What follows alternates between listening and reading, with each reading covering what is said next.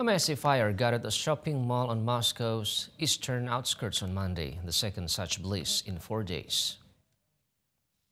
The blaze at the mall in Balashikha that trades in construction items and home decoration materials first erupted at a storage area and later spread to part of the building. The guard was hospitalized after inhaling toxic fumes from the fire.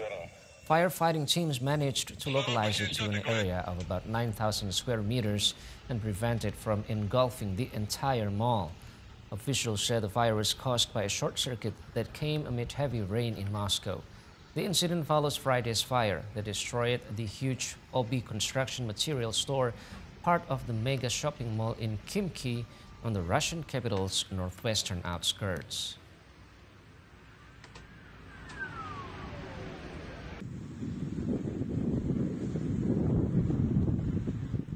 Snow blanketed large areas of the UK as weather forecasters issued severe weather warnings for many parts of the country.